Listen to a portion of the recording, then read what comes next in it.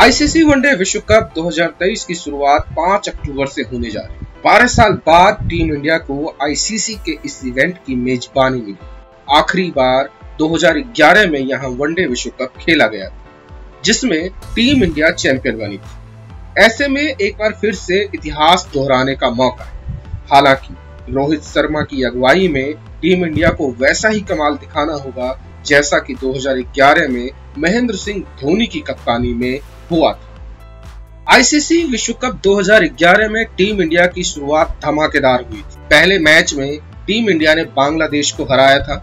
इस मैच में वीरेंद्र सहवाग और विराट कोहली ने शतक ठोका दूसरे मैच में टीम इंडिया की टक्कर खिताबी जीत की प्रबल दावेदारों में से एक इंग्लैंड से। यह मुकाबला बेंगलुरु के एम चिन्ना स्वामी स्टेडियम में खेला गया भारत और इंग्लैंड दोनों ही टीमों की तरफ़ से इस मैच में खूब धूम धड़ाका हुआ और सचिन ने बेहतरीन शतक लगाकर दर्शकों को झूमने पर मजबूर कर दिया।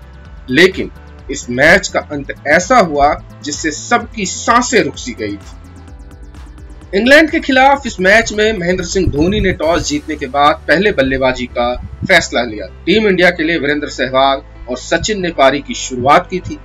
दोनों ही खिलाड़ी शानदार लय में लग रहे थे। लेकिन सहवाग कट शॉट खेलने के प्रयास में विकेट कीपर के हाथों कैच आउट हो। हालाँकि उस दिन मैच में दिन सचिन का था। सचिन ने लगातार इंग्लैंड के गेंदबाजों की खबर ली और उन्होंने 115 गेंद में 120 रन बनाए।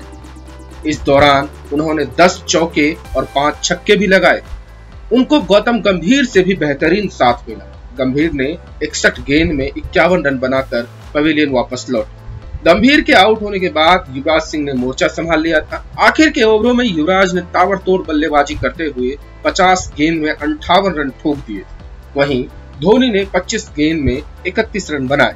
इस तरह टीम इंडिया ने उनचास ओवर में 338 रन का विशाल स्कोर खड़ा बल्लेबाजों के लिए मददगार चिन्ना स्वामी के पिच पर इंग्लैंड के लिए केविन पीटरसन और एंड्रयू स्ट्रॉस ने पारी की शुरुआत दोनों ने अपना ताबड़तोड़ अंदाज दिखाया, लेकिन इस बीच पीटरसन ने सीधा शॉट खेला, जिसे मुनाफ पटेल ने अपनी ही गेंदबाजी पर दूसरे प्रयास में लपक कर टीम इंडिया को पहली सफलता दिलाई। इसके बाद जोनाथन ट्रॉट भी जल्दी ही आउट हो गए, लेकिन इयान बेल ने स्ट्रॉस के साथ मिलकर खूंटा गार लिया था। इस बीच स्ट्रॉस ने अपना पहला शतक पूरा किया, जबकि ईयान ने अपना पचासा। ईयान भाई टीम इंडिया के लिए खतरनाक साबित हो रहे थे। लेकिन जहीर खान ने उन्हें विराट कोहली के हाथों कैच आउट कराकर टीम इंडिया को फिर से मैच में वापस ला दिया। हालाँकि भारत के लिए भी खतरा टला नहीं था। एंड्रू स्टॉस ने इस मैच में 150 रन के आंकड़े को पार कर लिया। मैच अपने अंतिम चरण में पहुँच चुका था। दर्शकों की साँसें थम सी गई थी। इस बीच जहीर खान के सटीक यॉर्कर पर स्ट्रॉस आउट हो गए और भारतीय समर्थकों में खुशी की लहर से दौड़ गई। टीम इंडिया को अब जीत के लिए टेलेंडर्स को आउट करना।